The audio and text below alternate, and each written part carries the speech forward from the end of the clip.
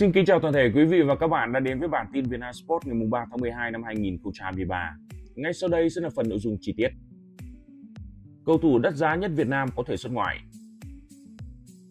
Mới đây, Liên đoàn bóng đá Việt Nam VFF và La Liga đã cùng thống nhất thỏa thuận hợp tác trao đổi chuyên môn với mục đích phát triển bóng đá chuyên nghiệp và bóng đá cộng đồng tại Việt Nam cũng như các đội tuyển quốc gia, đồng thời phát triển các dự án đào tạo thể thao khác. Ngay sau khi buổi gặp gỡ kết thúc, có thông tin cho rằng câu lạc bộ Cadiz của La Liga đang quan tâm tới tiền vệ Hoàng Đức của câu lạc bộ Viettel. Đây chính là đội bóng mà Hoàng Vĩnh Nguyên của câu lạc bộ Hồ Chí Minh đã tham gia tập huấn trong vòng hơn một tháng vừa qua. Theo đó thì sau khi xem dò Vĩnh Nguyên, các nhà tuyển trạch của Cadiz bắt đầu để ý đến nguồn cầu thủ tại châu Á, đặc biệt là thị trường Việt Nam. Và Hoàng Đức là người đã lọt vào mắt xanh của đội bóng đến từ La Liga. Hoàng Đức hiện đang là tiền vệ số 1 của bóng đá Việt Nam. Trước Cadiz, Hoàng Đức đã được rất nhiều đội bóng ở châu lục quan tâm như De Jong, Hoàng Stühler, Kawasaki Frontale hay PG Batam. Thưa quý vị, dù vậy Hoàng Đức vẫn chưa từng xuất ngoại. Hiện tại hợp đồng của anh với câu lạc bộ Viettel còn hạn tới hết năm 2024. Sau quãng thời gian đó, nếu muốn thử sức, anh hoàn toàn có thể tìm kiếm những cơ hội thi đấu ở nước ngoài. Vừa qua thì Hoàng Đức cũng gây chú ý khi phải ngồi ngoài ở cả hai trận đấu tại vòng loại 2 World Cup 2026 trong áo đội tuyển Việt Nam. Đánh giá về cầu thủ xuất sắc nhất của bóng đá Việt Nam ở thời điểm hiện tại, huấn luyện viên Chu Dê đã thẳng thắn chia sẻ. Với tôi, Hoàng Đức chưa đáp ứng được yêu cầu chuyên môn. Quả bóng vàng Việt Nam 2023 có thể sẽ thuộc về cậu ấy, nhưng tôi muốn cậu ấy sẽ thể hiện tốt hơn trong tập thể này. Mong cậu ấy hiểu được sự kỳ vọng của tôi với cậu ấy. Tôi chỉ mong cậu ấy tốt hơn. Huấn luyện viên Park So thừa nhận viễn cảnh đối đầu đội tuyển Việt Nam. Tôi chỉ có thể nói với các bạn rằng tôi sẽ không trở lại làm việc ở Hàn Quốc. Ở thời điểm này tôi đang mở lớp đào tạo bóng đá trẻ ở Việt Nam. Tuy nhiên tôi vẫn có dự định thử sức ở một quốc gia khác nếu như có cơ hội. Ông nói tiếp, phía đại diện của tôi đã liên hệ với một số nơi. Tuy nhiên mọi chuyện vẫn còn quá sớm để khẳng định. Tôi vẫn chưa đưa ra quyết định cuối cùng. Tôi biết rằng họ vẫn phải tiếp xúc, đàm phán. Kết quả phải dựa trên những điều kiện phù hợp của cả hai bên. Theo tờ Ocean của Hàn Quốc, huấn luyện viên Park Seo sẽ tiếp tục làm việc ở Đông Nam Á.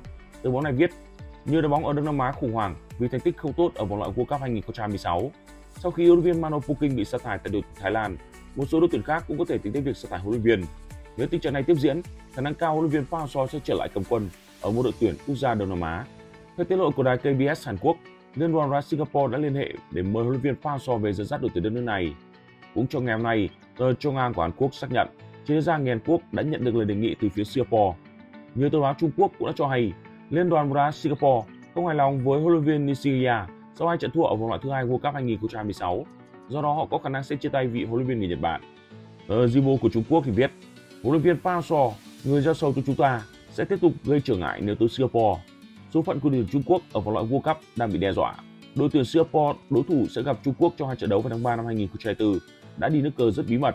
Nếu huấn luyện viên Park Hang-seo nhận lời dẫn dắt đội tuyển Singapore, đội tuyển Trung Quốc sẽ phải rất thận trọng khi đối đầu với đối thủ này. Singapore đặt quyết tâm lớn sẽ giành được một điểm trong trận đấu với Trung Quốc. Họ sẽ hoàn toàn khác biệt so với trước đây nếu như được dẫn dắt bởi huấn luyện viên Park Hang-seo. Tiếp tục bản tin Vietnam Sport ngày hôm nay là kết quả thi đấu ngày đầu tiên vòng 4 Nasport V-League 2023-2024 thưa quý vị. Trợ lý huấn luyện viên Suang Nghệ An lao vào sân đôi co với trọng tài.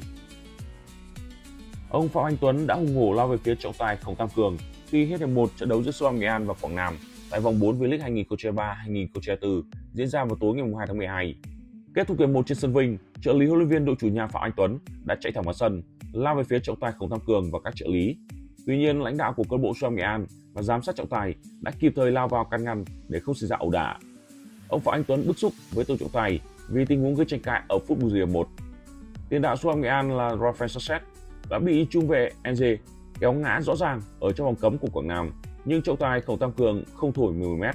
Ở tình huống phản công ngay sau đó thì Quảng Nam được hưởng quả phản góc, dẫn tới tình huống Samson bị kéo khi tung người móc bóng. Tiền đạo Nguyễn Đình Bắc sau đó đã pha đền chuẩn xác, gỡ hòa hai đều chủ đội khách. Trước đó ở phút thứ 16, các trọng tài đã không công nhận bàn thắng của Song Ngan ở tình huống Sanchez đệm bóng sau được cắt ngang từ bên phải vào của Mạnh Quỳnh. Chiếu chậm cho thấy dường như tiền đạo của đội chủ nhà chưa việt vị. Cầu thủ đến từ câu lạc bộ Song Ngan phản ứng dữ dội, nhưng không thay đổi được quyết định của trọng tài do trận đấu này không có VAR hỗ trợ. Song Ngan tiếp đón Quảng Nam là trận đấu sớm nhất ở vòng 4 V-League khi giải đấu này trở lại sau quãng nghỉ nhường chỗ cho các đội tuyển quốc gia thi đấu. Bất chấp trời mưa to và thời tiết lạnh, cả hai đội đều chơi quyết tâm vì mục tiêu tìm kiếm chiến thắng đầu tiên. Trận đấu vì thế có nhiều tình huống tranh chấp và va chạm quyết liệt. Trung vệ Steven mở tỷ số cho Quảng Nam ngay ở phút thứ 6 bằng một cú đánh đầu sau quả phạt góc.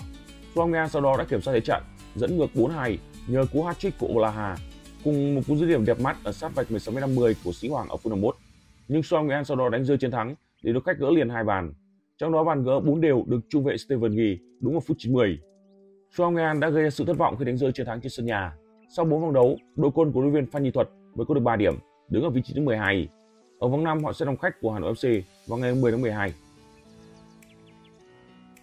Đà bại Khánh Hòa, Thanh Hóa vươn lên vị trí nhì bảng xếp hạng V-League. Trong khi đó trên sân Nha Trang, đội chủ nhà Khánh Hòa đã thể hiện quyết tâm giành điểm trước Thanh Hóa. Tuy nhiên đội bóng xứ Thanh là đội chơi hiệu quả hơn. Sau hiệp một giằng co, thì với tắc đã được phá vỡ ở giữa hiệp 2. Ngoại binh Luis Antonio của Thanh Hóa tung ra cú sút xa đẹp mắt khi bàn thắng giúp đoàn quân của đội viên Popov vươn lên dẫn trước 1-0 ở phút 68. Sau bàn thua, đội chủ nhà Khánh Hòa đã cố gắng đẩy cao đội hình tìm kiếm bàn gỡ. Tuy nhiên, khi mà tuyến trên vẫn chưa kịp có bàn, tuyến dưới của đội bóng Phú Biển lại tiếp tục bị chọc thủng. Phút 80, ngoài binh Rimario bên phía Thanh Hóa chấp thời cơ rất nhanh trong thủ lưới Khánh Hòa lần thứ hai trong trận đấu, ấn định chiến thắng 2-0 cho đội bóng xứ Thành. Chiến thắng này đã đưa Đông Á Thanh Hóa vươn lên vị trí thứ nhì trên bảng xếp hạng V-League mùa giải 2023-2024 với 8 điểm sau 4 trận. Thanh Hóa kéo đội đầu bảng Nam Định một điểm, nhưng đá nhiều hơn đối thủ một trận. Ngược lại thì Khánh Hòa có 3 điểm, xếp ở vị trí thứ 11. Ngày hôm nay chúng ta sẽ tiếp tục vòng 4 với những trận đấu diễn ra vô cùng hấp dẫn và dự kiến sẽ có rất nhiều bàn thắng được ghi. 17 giờ là thời điểm Agribank Hai Gia Lai sẽ đối đầu với BKMX Bình Dương trên sân Pleiku. Trong khi đó Hồng Lĩnh Hà Tĩnh tiếp đón Thép Xanh Nam Định cũng ở khung giờ trên. 19 giờ 15 là cuộc đấu giữa câu lạc bộ Hà Nội và câu lạc bộ Quy Nhơn Bình Định. Và đó cũng là thời điểm mà Thành phố Hồ Chí Minh sẽ tiếp đón thể công Viettel trên sân nhà thống nhất. Thưa quý vị và các bạn, chi tiết vừa rồi cũng đã khép lại bản tin Vietnam Sport ngày hôm nay của chúng tôi. Cảm ơn toàn thể quý vị và các bạn đã quan tâm theo dõi. Xin chào, hẹn gặp lại ở những bản tin tiếp theo của Vietnam Sport News.